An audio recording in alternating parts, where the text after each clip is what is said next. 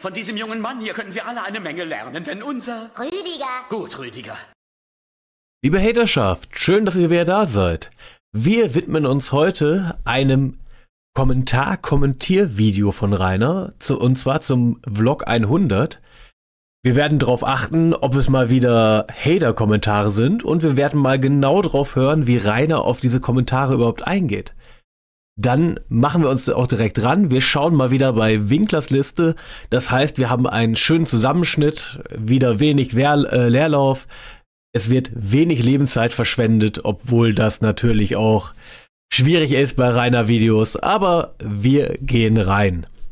Wir machen heute Kommentare zum Vlog 100. Ähm, ähm, er geht einfach jedes Mal raus. Hä? Das stimmt überhaupt nicht. Also die Aussage, er geht immer raus, ist völliger Bullshit. Äh, was gibt die, was? Moment. Nee, doch, wann gibt es Content? Reichen die drei Videos am Tag nicht? Alter, ohne Scheiß. Dazu kommt dann noch ein Livestream. Äh, Heini, das Wort Content bedeutet auf Deutsch Inhalt. Das heißt nicht, dass du quantitativ möglichst viele Videos am Tag rausballern sollst, sondern dass die auch mit irgendwas gefüllt werden sollen. Du hast bestimmte Themen, wie zum Beispiel Gameplay, die Haters, ähm, ich weiß nicht, deine komischen Meinungsvideos, aber da ist halt nichts drin, keine Substanz. Ähm, es gibt halt YouTuber, wenn du dir mal deine Vorbilder anguckst, einen Unge, einen Gronk oder ähnliche ähm, YouTuber die wissen, was äh, sie für ihre ähm, Kundschaft machen, für ihre Follower. Da gibt es Substanz hinter. Und das ist bei dir halt nicht der Fall. Ähm, nächste Aussage. Bald gehst du in den Knast. Äh, dann. Reini, das ist keine Frage. Das war eine Hoffnung. Ist es endlich soweit und du verlierst deine Unschuld. Also fangen wir mal damit an, dass ich nicht in den Knast gehe. Aber selbst wenn es so wäre, meine Unschuld habe ich schon vor langer Zeit verloren. Alle ja, das wissen wir leider auch. Ähm, A, er geht nicht in den Knast. B, ähm, er hat seine Unschuld an den Luan verloren im Badezimmer. Ein sehr grausiges Video. Ähm, kann ich nicht empfehlen, natürlich. Äh, aber nee, von Unschuld kann man bei dir nicht mehr reden. Du bist nicht die Unschuld vom Lande, Reini. In keiner Form anderen Arten von Unschuld habe ich durch die Hater verloren. Also äh, geil, äh, der Vollz was? Geil, der Vollzeitversager macht endlich ein eigenes Video über die Hater. Ich habe die Erfahrung gemacht, dass nur Hater andere Leute haten und dann selber meistens die Leute sind, die um 5 äh, Uhr morgens am Bahnhof sind, rotze besoffen, mit mit der Bierflasche in der Hand und mit dem Joint in der anderen Hand. So, der nächste Kommentar. Reini, du kommst gar nicht aus deiner Hütte raus. Wie hättest du denn merken sollen, wer irgendwo am Bahnhof steht und wer nicht? Natürlich spinnst du dir wieder irgendwas in deinem Kopf zusammen. Die Hater sind natürlich in deiner Welt die Bösen, die alle auf ihr Leben nicht klarkommen. Aber ich glaube, da spiegelst du mal wieder ganz deutlich. Du bist derjenige, der arbeitslos zu Hause rumlungert, der gerne mal Saustreams gemacht hat, später auch gerne mal äh, Bubats konsumiert hat. Davon gibt es ja auch äh, Fotos und Videos. Ich glaube nicht, dass du über das Leben anderer Leute urteilen solltest. Nicht aus deiner Position heraus. Als löschen? Nö, sehe ich nicht ein. Ähm, wie viel der damals noch. Nee, was ist das denn? Wie viel, wie viel, wie viel, wie viel? Ist Rainer einfach nur überfordert? Merkt er nicht, dass das irgendwie ein Stilmittel in der Frage sein sollte? Naja, Reini kommt halt nicht drauf klar auslesen. Wie viel, wie, wie, angebunden. Was soll ich das jetzt sagen? Äh, Umziehloch. Ja, ist aber schön, dass er das alles vorliest und wieder Hater provoziert, noch mehr Quatsch zu machen. Typisch Rainer halt. Freue mich auf die neue Staffel mit neuen Drehort. Freue ich mich auch. Aber es wäre schön, wenn du mich nicht Umzuglord nennen würdest. Im Knast gibt. Genau, es gibt so viele andere Beschreibungen für ihn. Lügenlord oder ähnliches. Finde ich auch viel besser.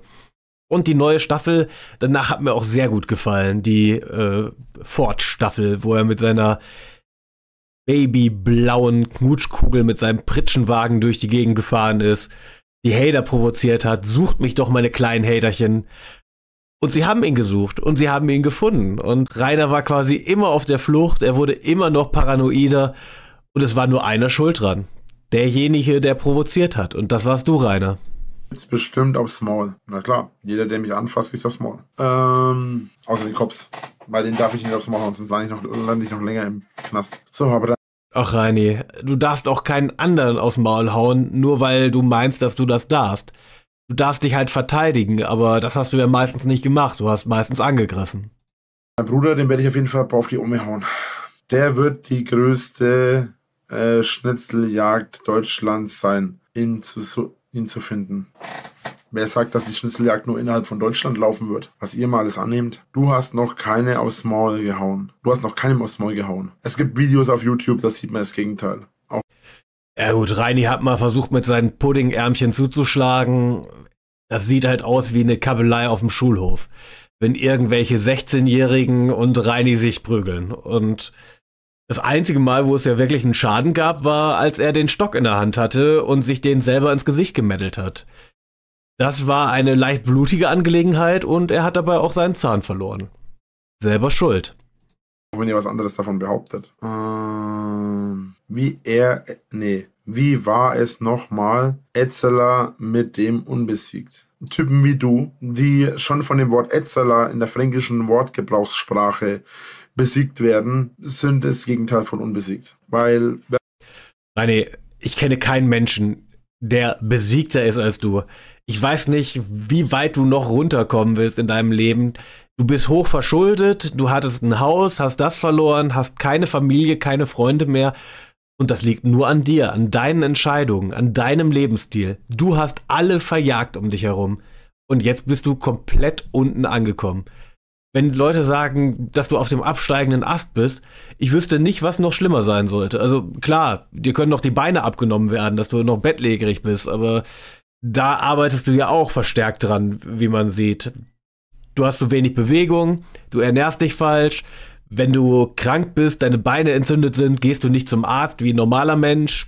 Liegt wahrscheinlich auch A an deiner Faulheit, B an deiner Krankenversicherung. Ja. Du bist meiner Meinung nach ganz unten. Wenn man nicht einmal ein Wort in der fränkischen Sprache richtig in Grammatik und Dialekt raushauen kann, dann ist man schon besiegt. Denk mal drüber nach bei den zwei grauen Zellen, die du hast. Äh, das ist auch immer schön. Wenn Reini sagt, denk mal drüber nach, dann hat er gerade irgendeinen Quatsch formuliert. Ihm ist das selber aufgefallen, dass es überhaupt keinen Inhalt hat, dass es überhaupt keine Substanz hat. Und damit versucht er das irgendwie am Ende wieder gerade zu ziehen. Es ist natürlich jedes Mal totaler Quatsch. Wie mit dem unterirdischen Feldweg, den es nicht gibt. Denk mal drüber nach. Ähm, er zieht um und wohnt neben ein Hater. Mann, ihr werdet euch so wundern. Äh, gähn nach 2,5 Stunden, nachdem er aufgestanden ist. Äh, Punkt, Punkt, Punkt. Vom Rumsitzen. Punkt, Punkt, Punkt. Ja, ganz toll. Super. Das ist wieder Qualität. Der gähnende Winkler. Ähm, das Thema Gesundheit hatten wir ja gerade schon. Und deine Müdigkeit, gut, einerseits kommt es daher, dass du nachts zockst, bis in die frühen Morgenstunden und viel zu wenig schläfst. Andererseits könnte das natürlich auch ein Symptom von Diabetes sein. Und da du dich ja auch nicht untersuchen lässt, weißt du nicht, ob du wirklich Diabetes hast. Wenn du es hast, wird, dich, wird dir das immer weiter schaden, wird dein Organ schaden, wird irgendwann der Durchblutung deiner Gliedmaßen schaden. Und die Konsequenzen dafür musst du ganz alleine tragen.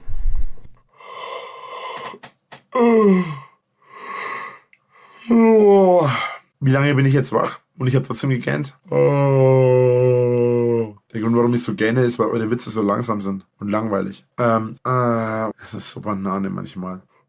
Ja, Reini, du bist ziemlich am Ende. Und deine Vorstellung von Humor ist wirklich auch nicht gerade hochentwickelt. Äh, Umzuglord. Äh, ich bin nicht so ein Drachen. Ich bin nicht so ein Drachengame, aber äh, als ich gerade gehört habe, dass du bald ausziehst, habe ich Lust auf meinen ersten Besuch bekommen. Mhm. Das ist echt schön, dass du äh, all deine Bedenken über den Haufen wirfst und eine Bevölkerung eines Dorfes inklusive der Polizei und vielen hundert anderen Menschen auf den Zeiger gehen willst, nur weil ich umziehe. Das ist, das war der Genius Aussage des Tages, ganz ehrlich. Glaubst? Ey, Reini, das hast du, glaube ich, falsch verstanden. Er will dir auf den Keks gehen. Nur dir. Und er will den Tanzbären sehen. Und wahrscheinlich hat er den auch gesehen. Du kannst dich halt nicht benehmen. Und es gibt nur eine Person, die der gesamten Nachbarschaft durch ihr Gebrülle, durch ihre Alarmanlage auf den Keks geht. Und das ist derjenige, den wir gerade im Video sehen du, nee, glaubst du doch selbst nicht. Ich hatte gerade die Idee, vielleicht das nächste Mal die Aufnahmen für die Kommentare mache ich vielleicht für die nächste Folge, äh, einfach mit dem OBS aufzunehmen. Dann könnte ich einfach auf meinen Button drücken und hätte meine äh, Einspielungen gleich in der Aufnahme und bräuchte mir keinen Kopf darüber machen. Äh, Super, wie du dir während des Videos Gedanken darüber machst, was du besser machen könntest.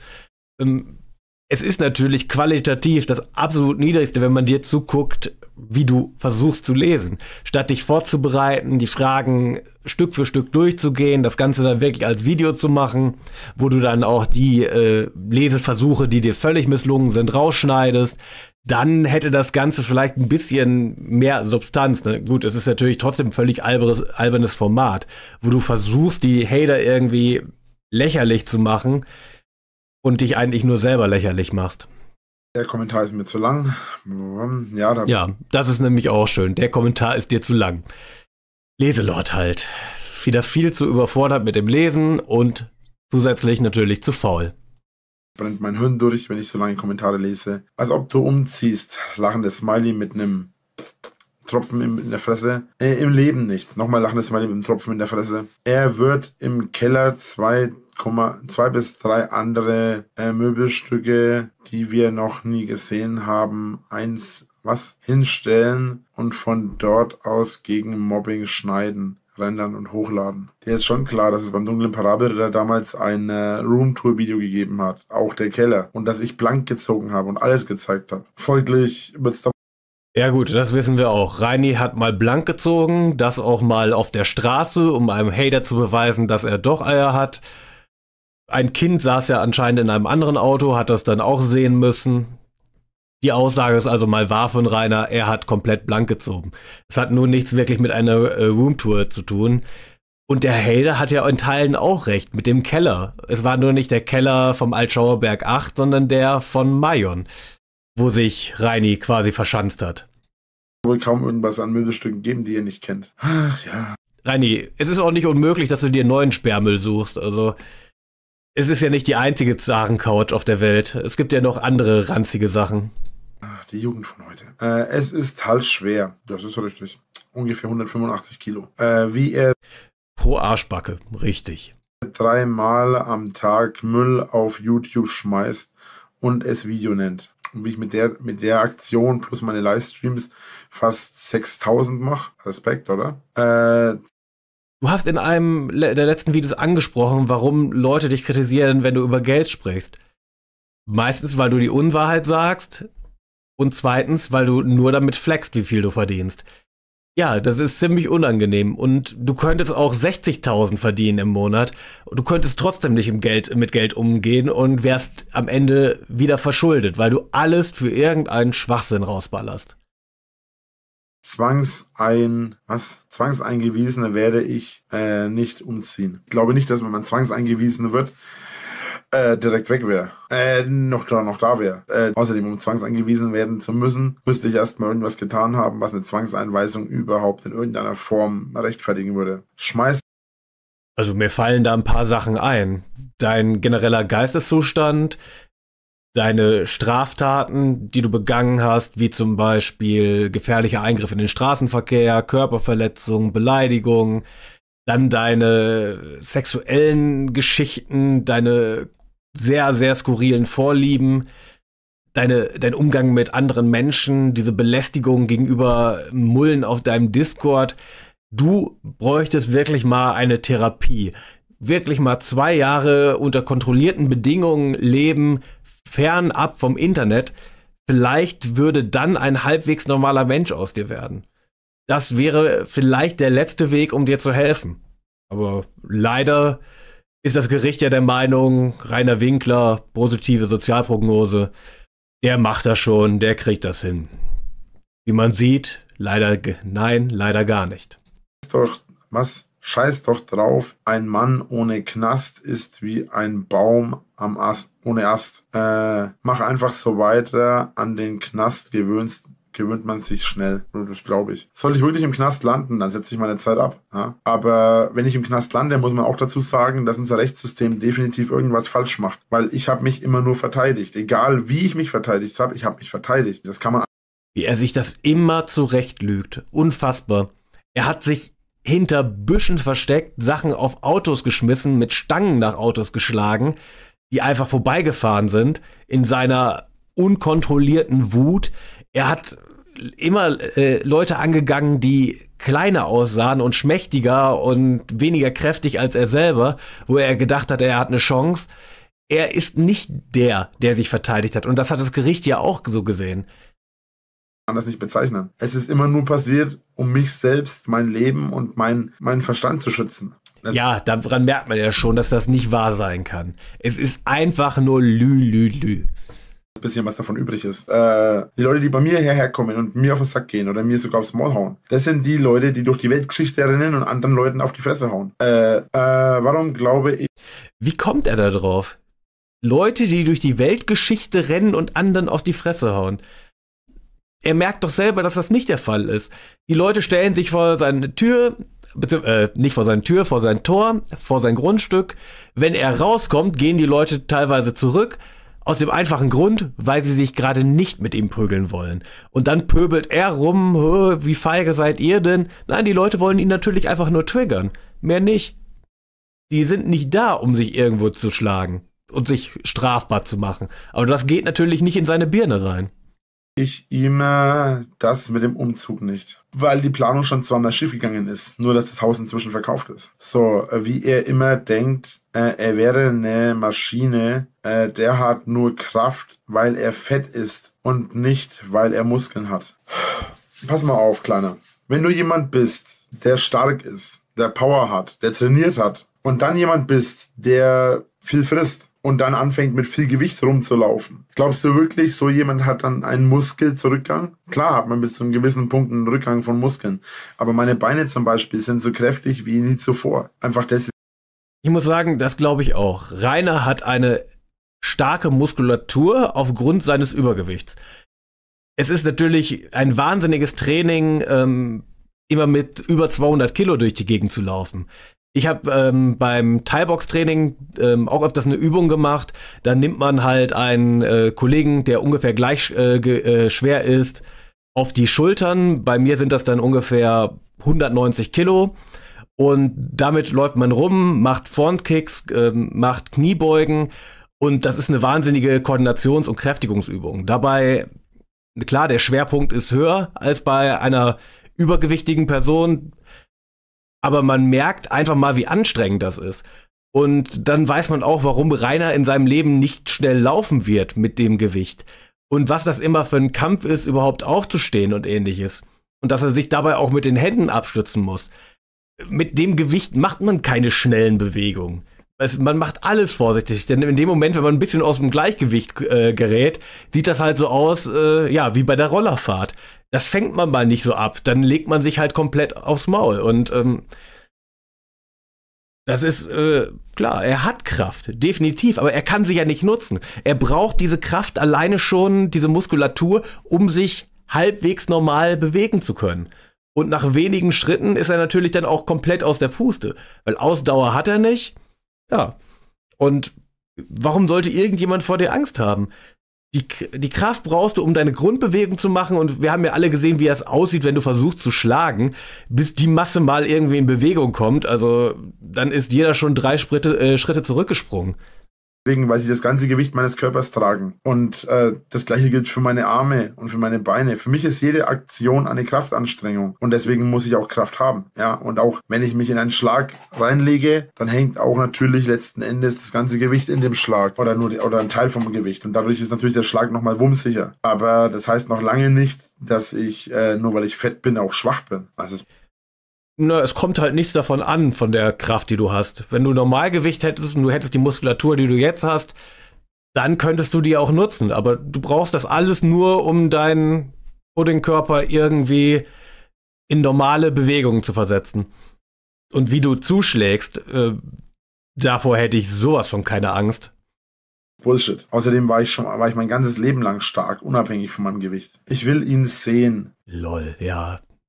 Richtig, richtig stark bist du. Bist halt ein ganz, ganz besonderer Mensch.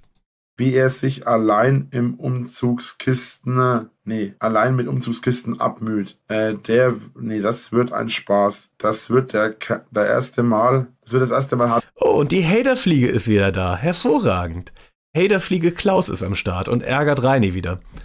Ja, man hat ja gemerkt, wie es war, als er ähm, seine Umzugskisten gepackt hat. Es war nicht sonderlich viel, was er mitgenommen hat. Und man hat es im Stream gesehen, er war komplett fertig von ein bisschen Arbeit. Ein paar Sachen zusammenpacken, in den Ranger laden, das Ganze wegfahren, im Lager wieder ausladen. Und jemand, der halt null körperliche Arbeit gewohnt ist, für den es wahrscheinlich anstrengend ist, der schwitzt, wenn er abspült oder ja, zur Dusche geht, um da bestimmte Sachen zu machen. Ähm, klar ist das, eine, ist das schon eine Herausforderung. Das zum Thema übrigens sehr kräftiger Mensch. Nee, du bist schon mit den einfachsten Sachen, die für normale Menschen Alltag sind, komplett überfordert. Arbeit für ihn. Du weißt schon, dass ich im Stahlwerk gearbeitet habe, in einer St ja, in den ganzen Stahlwerken in deiner Umgebung, was du dir für äh, Lügengeschichten da zusammenbastelst. Du hast irgendwie bei Plaste Jakob gearbeitet und bei anderen Unternehmen, wo du irgendwie in der, im Lager, in der Logistik irgendwas gemacht hast. Wahrscheinlich aber nichts äh, großartig geordnet, weil du damit eh überfordert gewesen wärst, sondern du hast irgendwie den Flur gefegt. Und als die gemerkt haben, dass du irgendwo nur im Pausenraum sitzt und da rumquarzt, haben sie dich auch schnellstmöglich wieder nach Hause geschickt. Schreinerei in einem Holz, in einer Holzschmiede, äh, nicht Schmiede, wie heißt's? Äh, in Doch, in der Holzschmiede, genau. Rainer arbeitet in der Holzschmiede. Schmiede habe ich auch schon mal gearbeitet. Ich habe auch schon in einer Holz, ähm, in einem Sägewerk habe ich schon gearbeitet. Äh, von den ganzen Jahren auf dem Bau will ich gar nicht reden. Also, Junge, ich habe wahrscheinlich schon. Das sind wieder Stories, die er erzählt. Seine große Lebenserfahrung und was, was er sich da einbildet. Als ob er da im Stahlwerk am Hochofen irgendwo gestanden hat und dann die Proben entnommen hat oder gleich alles da reingeworfen hat. So ein Quatsch.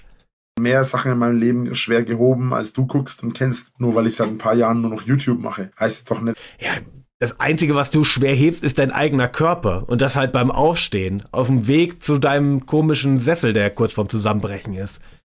Wer soll dir das denn abkaufen? Wir sehen dich seit Jahren und wir wissen halt, wie schwer du dich bei einfachen Bewegungen tust. Allein schon, wie du läufst. Du kannst ja nicht mal mehr deine Knie durchdrücken. Und du erzählst uns jetzt, was du für ein hart arbeitender Mensch warst.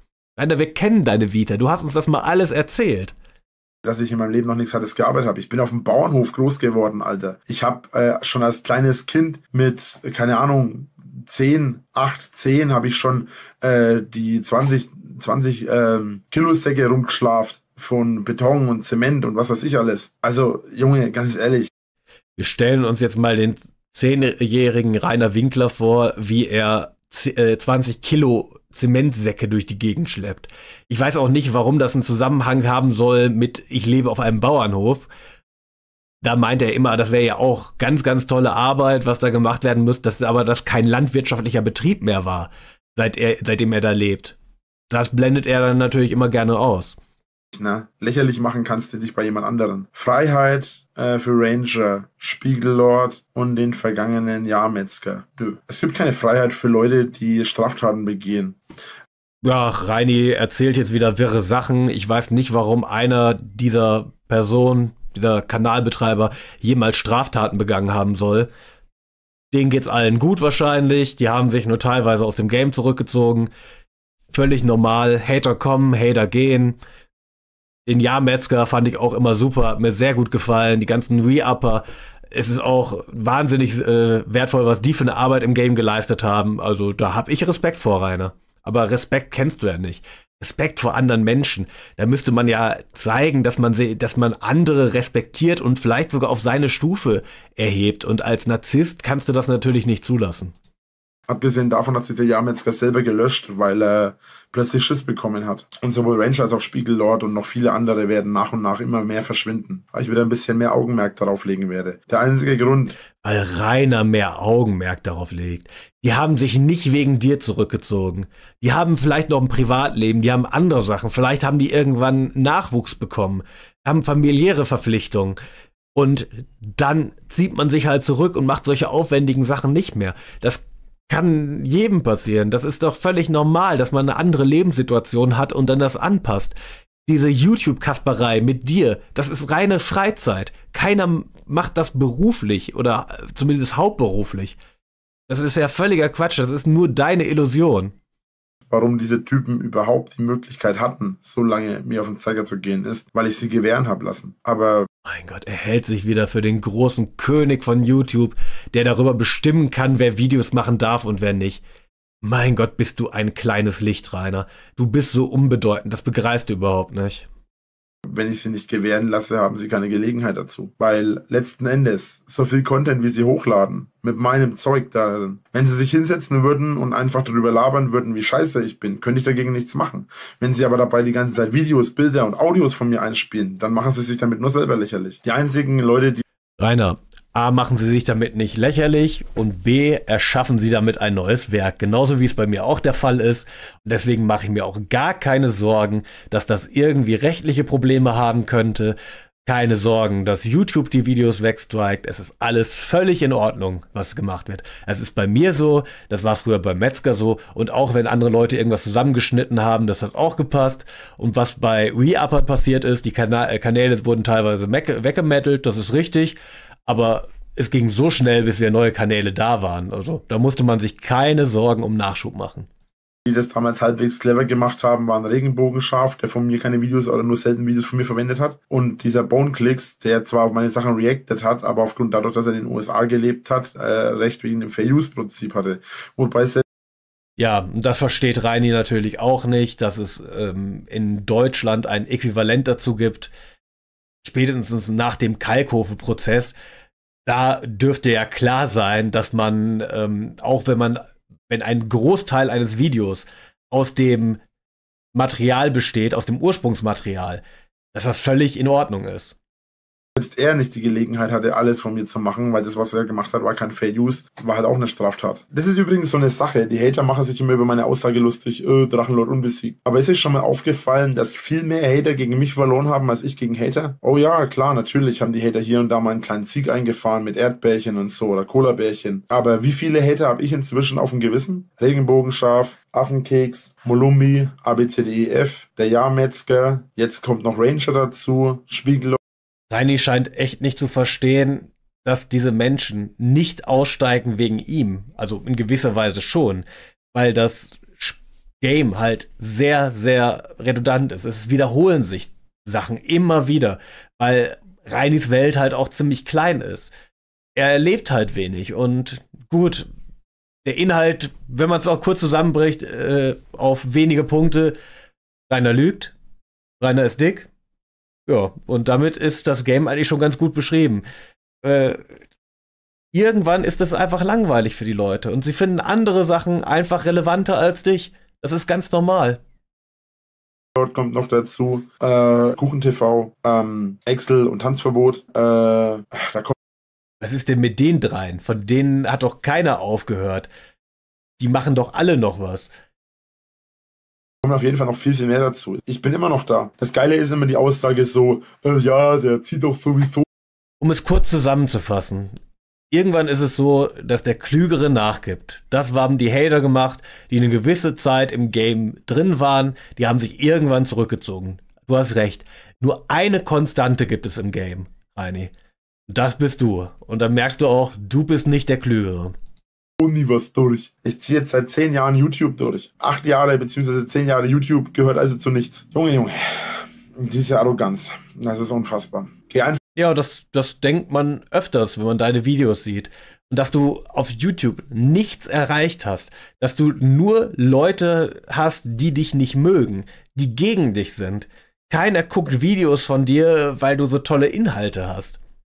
Da ist ja nichts einfach mal in den Knast. Ja, dann geh doch. Hm, äh, ich würde, was? Ich wünsche dir wirklich, dass du irgendwann mal zur Ruhe kommst, kommen kannst. Vielen Dank. Wird schon irgendwann. Äh, du sagst. Ja, Reini, ganz einfacher Weg. Einfach aus dem Internet zurückziehen und das würde irgendwann für alle Hater, alle Trolle komplett langweilig um dich werden. Aber das möchtest du halt nicht. Du möchtest halt lieber betteln und deine Bekanntheit nutzen, um halt Kohle zu äh, generieren.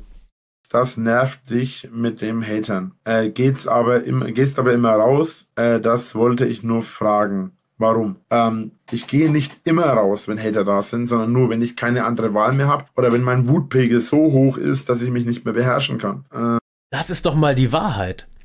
Der erste Punkt ist natürlich völliger Quatsch. Er muss überhaupt nicht rausgehen.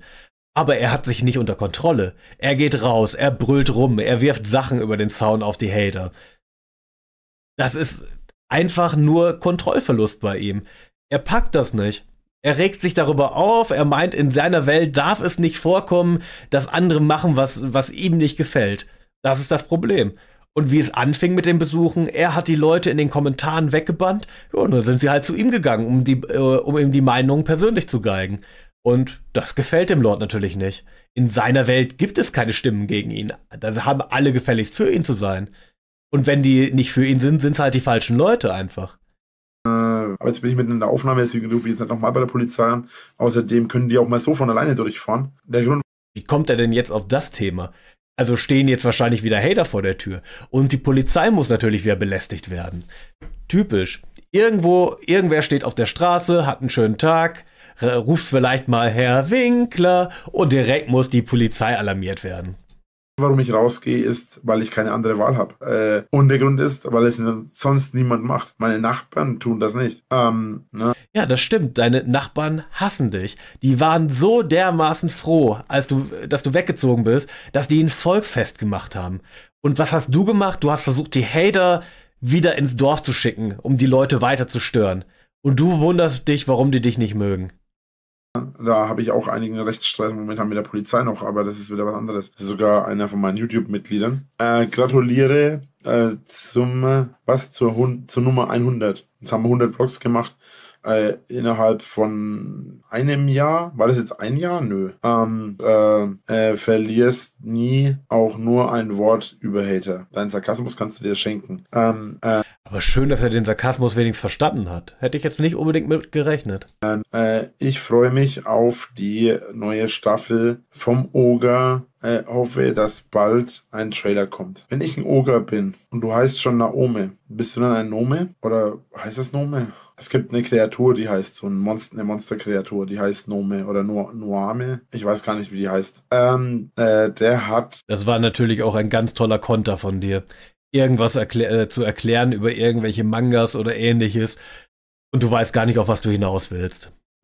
Aber das ist halt typisch Reini. Er ist halt schlagfertig, nur nicht dann, wenn es drauf ankommt äh, noch nicht einmal in seinem Leben direkt die richtige Zeit gesagt äh, ist aufgenommen, was aufgestanden ist. Mein Gott. Tut mir leid, dass ich das nie äh, jedes Mal, dass ich das jedes Mal korrigiere. Ach ja, dann habe ich die Kamera ins, habe ich das da reingehalten, ne? Also tut mir mal den Gefallen und hört auf, so einen Blödsinn immer zu erzählen. Äh, äh, dafür, dass du wenig Schlaf brauchst, gähnst du relativ oft. Äh, hör doch bitte endlich mal, nee, endlich mit den Lügen auf. Ähm, ähm, für gewöhnlich sagt man, dass äh, Müdigkeit äh, durch Gähnen symbolisiert wird. Aber ich will jetzt nicht den Schlaumeier raushängen lassen, aber Müdigkeit hat nicht zwangsläufig was mit Gähnen zu tun, sondern Gähnen was mit Sauerstoffmangel. Ähm, äh, ja, Reini, und vielleicht solltest du dir dann auch mal Sorgen machen, weil wenn du andauernd gähnst, scheint dir irgendwas mit deinem Körper nicht ganz zu stimmen.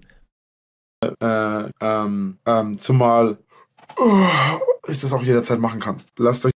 Findest du dich eigentlich witzig bei sowas?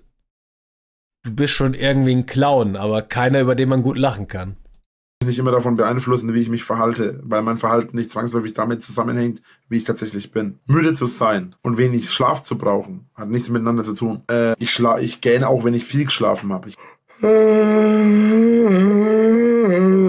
Was für ja, wie gesagt, A, glaube ich dir das nicht, weil du teilweise auch völlig fertig da auf dem äh, Sitz äh, sitzt und uns keine Zusammenhänge mehr Gut, kann er sonst auch nicht wirklich, aber es ist ja noch schlimmer, wenn er wenig geschlafen hat und fertig ist. Aber dass er sich da nicht hinterfragt. Jetzt, er sagt ja, es liegt am Sauerstoffmangel. Wenn dein Körper andauernd Sauerstoffmangel hat, warum überlegt er nicht mal, ob das nicht vielleicht auch schädlich sein könnte? Dann würde ich doch erst recht mal zum Arzt gehen und mal gucken lassen, was los ist. Was? Oh, ich bin verrutscht in der Zeile. Äh, wie selten er damals noch letztes, letzten Endes gesagt hat. Boah, diese Aussage na, wie oft er damals noch. Leute, meine Videos sind alle aktuell. Ich weiß nicht, es ist mittlerweile so ein neuer Trend, zu sagen, ja, damals noch, wegen einem Tag oder was. Keine Ahnung. Ich werde mal schauen, ob ich das nächste Mal mit Greenscreen aufnehme. Ja, wie schlank er damals noch war beziehungsweise gleich mit meiner Cam aufnehme, äh, weil dann kann ich nämlich auch mal so ein bisschen, so ein paar Einspieler machen. Tschö. Ja, ein hervorragendes Format vom Träger. Man kann ihn bei seinen Leseversuchen beobachten. Er versucht sch schlagfertige Konter gegen die Haterfragen rauszuhauen, scheitert natürlich schon grundlegend dabei. Das Thema seines Lebens wird natürlich weiter vertieft. Lügen, Lügen, Lügen. Oh, und das war das Kommentiervideo zum 100. Vlog. Vielen Dank, dass ihr dabei wart. Wenn es euch gefallen hat, gerne ein Like und ein Abo rausschmeißen oder auch einen Kommentar dalassen. Ich lese sie alle. Vielen Dank. Und falls ihr schon vergessen habt, wo ihr eigentlich seid. Du heißt, du? Rüdiger heißt du? Genau, beim Rüdiger.